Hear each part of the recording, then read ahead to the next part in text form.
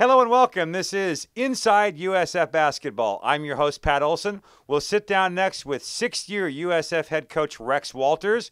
We'll talk about the Dons' first nine ball games. We'll take a peek ahead to the next two USF home games, and of course, a look ahead to upcoming West Coast Conference play. All that next, right here on Inside USF Basketball. Rex, uh, assess your first nine ball games. A lot of games in a hurry here in the first part of the season. Five and four. I know you lost a couple at home. You probably felt you could have won.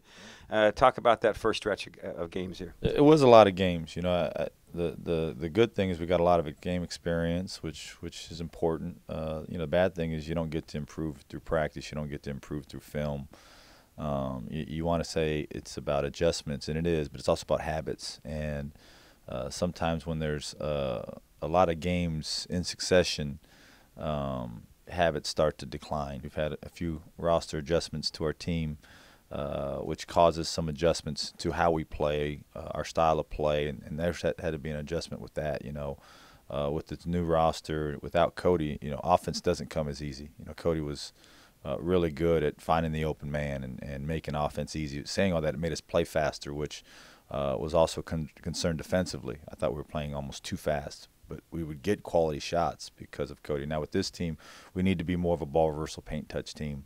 Um, um, you know, I thought with the exception of uh, Illinois State in that in that succession of games from Montana on, I thought defensively we were starting to do some better things. Uh, this is a good group. It's a good team. Um, uh, we've been tested. Obviously, I think that people are going to find as the season goes along a lot of these teams that we drop games to are pretty darn good teams. We, have had good practices since then. Our guys have a more of a sense of urgency. They have a better understanding of, of uh, where we're headed, what we got to do to get there. I'm excited about that. So um, I'm looking forward to uh, Nicholls State.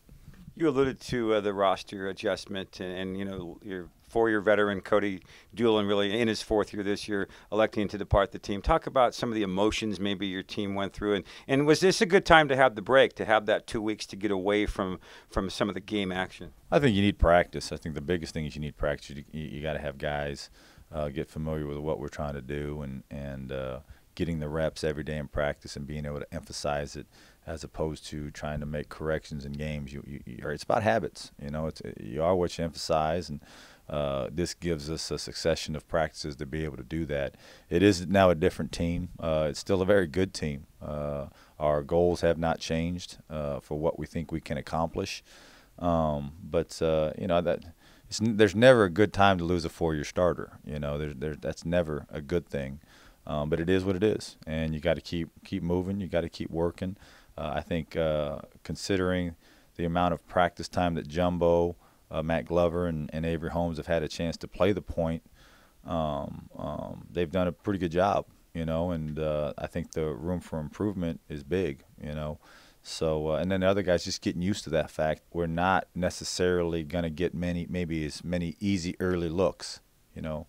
Uh, you know, Cody was as good as anybody uh, in our league in terms of finding guys and making guys better. You know, uh, getting quality shots, not running offense. I mean, he could break some plays and, and get us quality looks. And uh, with this team, I don't think we're you know quite that type of team anymore. We, we need to be a little bit more disciplined offensively. Uh, we need to you know go through our sets and, like I said, get ball reversals and more paint touches.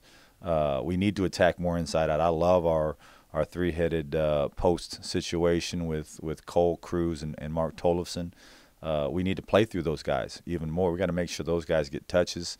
Uh, and and then when we when we kick it outside, we got you know really good shooters and Avery Holmes, Chris uh, Chris Adams, Tim Derksen, Matt Glover.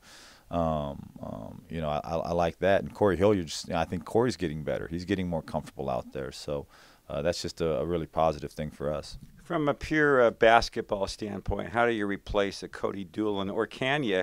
And what sort of adjustments will this roster go through uh, as we move forward? Um, uh, you know, uh, the the roster changed, and and uh, uh, you don't. If we would have lost Cole, how would the roster change? If if if Cole, you know, gets injured, if one of our players gets injured, everyone's got to step up a little bit more, and that's what we expect them to do. I mean, you, you're not gonna just replace that, you know, and and uh, we were moving more towards more ball control, more uh, paint touches anyways before the change was made. We felt like that was important for our team to get those, uh, get that ball to the paint, get the ball reversed, uh, and allow us to play in more set defense situations. I, I thought that. Uh, you know, we, we kind of fell in love, and, and it's on me. I kind of fell in love with the idea of playing fast. Well, playing fast one way is really good if when you have the basketball. Playing fast when you're when you're when you're going backwards, it's not good. And uh, uh, I think our guys got a better sense of that, better understanding of that. Um, and everyone's just got to do a little bit more. You mentioned uh, a couple times the team is still a good team, and your goals haven't changed. Yeah. Expand on that a bit. Our goals haven't changed. We feel like uh, we can definitely compete for a conference championship. we, we, feel like we can definitely go into any building and compete uh, and, and beat teams. And you're going to have to do that to win a conference championship, anyways. Whether you're going to Gonzaga, St. Mary's, BYU, Santa Clara, San Diego, Portland, none of those games are going to be easy. Um, um, I think the biggest thing for us uh, really is you know defensively protecting the paint. We got to do a much better job of that, and then uh, offensively shot selection. Shot selection for us now is is even more important. We we just you know have a tendency at times when things get rough, guys got to understand uh, it's it's not a sprint, it's a marathon. Even in the game, uh, we can't burp up quick shots. You know, it's the big thing that we're kind of hammering home. Discuss the uh, development of Kruize Pinkins to this point. I mean, here's a guy that I saw him play during the summer league. I liked what I saw, and you can't always grade things from that league. It's a different brand of basketball, but he's really developed. He's getting starter type minutes. He's scoring it a lot. He seems to get more comfortable each and every ball game.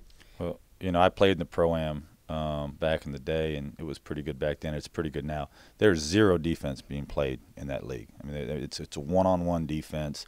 There's no de- team defensive concepts, so I, I, didn't put a whole lot of stock into that. I did, you know, I do know about Kruize is he's not going to back down from anybody, whether it's you know an NBA pro, a high-level Division One player. Kruize doesn't have a lot of back down to him, and that's what we lo- loved about him. That's why we thought he could be a difference maker for us. Uh, he can score in a lot of different ways. He, ha- he hasn't shot the ball as well from the perimeter. Uh, a lot of that's because of shot selection, just not taking the right shot at the right time. But uh, he's he's he's a load to guard. He can he can face you up on the post. He can post up and get deep spots. Um, our guys are very confident in him. Uh, he's just a good player. Uh, preview this uh, final three non-conference games. You've got two of them on the home floor in Nicholls State and America, and then you go on the road at St. John's. We've got to do a much better job of of not just protecting the paint, but when the shot goes up, finding a man, boxing him out, and then pursuing the basketball. Um, you know, that's really more of our focus defensively. And then on the offensive end, it's shot selection. You know, whether it's Nicholls State, St. John's, uh, American. You know, if we don't do those things well, it doesn't matter. You know, who's on the other side, what's on the other side. You, are probably going to get beat. You know, uh, so we need to do those things great. If we do those things great, you know, there's not one of those games that we can't come away and get a W. Final comment from you, Coach. It's it's just around the corner, sneaking up quick. Uh, West Coast Conference play. I know you've got three games between now and league play, but as you look around the league, and I know you watch other teams, anybody kind of caught you by surprise that's had a pretty good start? The whole league really is playing well. The whole league is really good. You know, uh, some guys have uh, have really stepped to the forefront. Obviously, you know Gonzaga uh, has done a great job. Um, you know, early in the season, getting some quality wins. BYU has got some quality wins. I know they went into uh, Stanford and got a quality win. That they've challenged themselves, and some people have scheduled really well. You know, some teams haven't left the home court. You know, some teams have done a really good job in that area. Uh, but but it's going to be a grind. I mean, you look at Gonzaga, St. Mary's, BYU, Portland's uh, much improved, I believe. Uh, Pepperdine's much improved. Loyola Marymount, uh, really, really talented. San Diego with their guard situation, they've added a few pieces to their guards. I mean, it's going to be a great league. I mean, every game is going to be a heck of a challenge. You know, for us right now, we're really concentrating on things I've been talking about the whole time. Great with our transition defense, great with our paint protection, great with our box outs, and then our shot selection's got to improve, and we got to play inside out. Coach, appreciate the time. Best of luck against Nicholls. Thank you.